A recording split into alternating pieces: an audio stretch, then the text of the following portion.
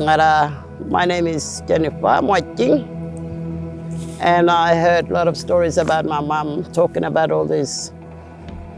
Her and Lucy used to be close, working together. So first thing that we'll have to talk about, Nganmara.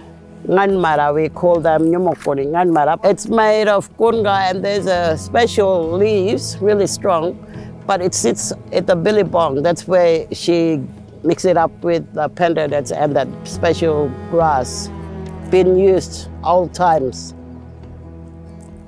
A lot of our people, when they was pregnant, they used to cover their body with this.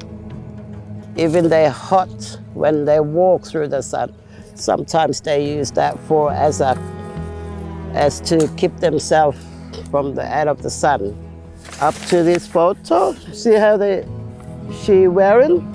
I think these two ladies are pregnant. God, just bag. It's made from banyan trees that grows in the beach that really big tall with the vines. We chop all the vines, smash them and pull them out, and just to get all the white stuff and leave the brown bit out, and then squash them until when they get soft.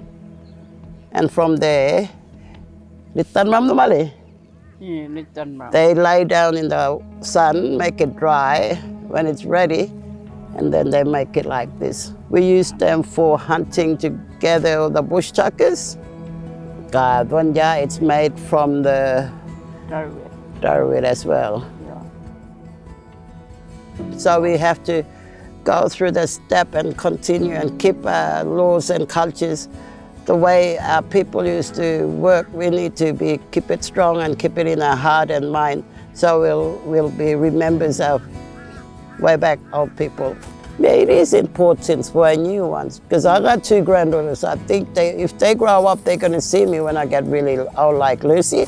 They will continue seeing me doing that, and one day they might take over because I'm doing my stuff for my mother. Mm. I always share the story to my daughter and my two granddaughter and other family when they come, and I have always share the story.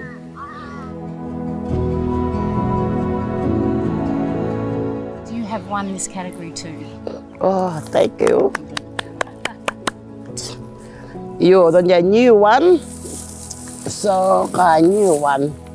That's all the new one. You all the you and done yeah. That's all the new ones that we was doing. So the new ones, new style from the new generation. You. And my mom and herself, they taught from their parents, you know, you know, the old ways of doing this. That link to these pictures, that link to their pictures. I'm really proud of you. She's a really strong, still going. How do you feel? Not getting a hmm. pala camera, the one nickel. Tiffany, I'm, proud about this stuff. don't cry. Hmm. You, woman, congratulations. You done a great.